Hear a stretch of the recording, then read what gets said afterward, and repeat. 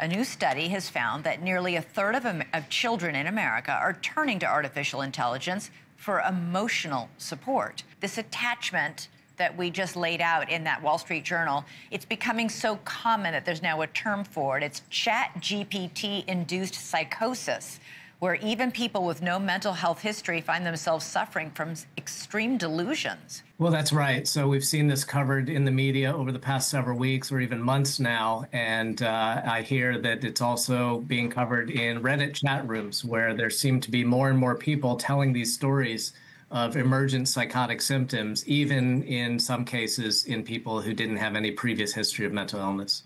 ChatGPT told one user that he had Jesus like powers and that he could access redacted CIA files just in his mind. There are many reports of people winding up in psychiatric hospitals or even in jail after becoming fixated on a bot. How is it, how and why is this happening? Well, you know, uh, it's very interesting to see this new technology. Uh, I'm, I really am concerned that uh, people are relying on chatbots at, to the exclusion of normal human interaction.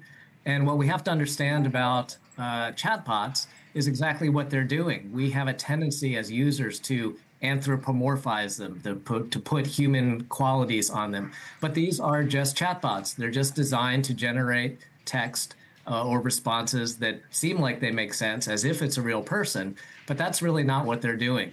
Uh, but we do have this tendency as human beings to anthropomorphize even machines. You know, this has been known for decades. And so I think uh, sometimes when people are turning away from normal human interactions and immersing themselves with chatbots, they can ri- run the risk of what I call deification this idea that you're treating uh, these chatbots as if they're these superhuman sources of uh, information or intelligence, even almost to the level of thinking it's like a godlike entity.